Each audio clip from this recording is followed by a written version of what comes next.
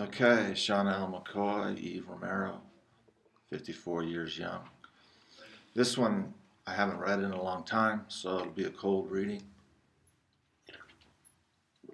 I'll give it a shot. Haven't hit bottom. I've been there all along, dark places where it's hard to sing my songs.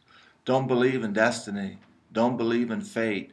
Quite a few times, quite a few times it's not so great but all my beliefs turned upside down somewhere in the Bowery of my mind downtown. Quit drinking ten times before, but reality says I'm a whore, a whore to pills, a whore to the muffled thrills, a whore to no one is knocking on my door. I can't get any feedback. All my work, I feel like a freak. I feel like a motherfucking jerk. I wish I was passive aggressive, but that's not the way it works.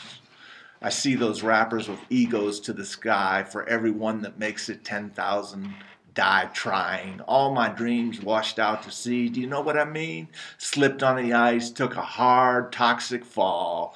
Broke my coccyx, thought I broke my back. Same position until I searched for a cure. Three days, one again pure. I guess Corbin Roberts got it best. Thought I was a hypochondriac. I showed him my testicles a year ago. Asked for a culture just to show. If there was bacterial infection that blew off of me without detection, one year later I demanded two swabs of fungal bacteria to lay to rest, my very first request.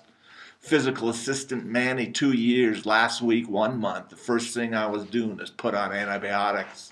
On the counter, the antibiotics, I finally encountered what I can see with. Culpability, he asked me. No, no questions to see if he'd done anything wrong.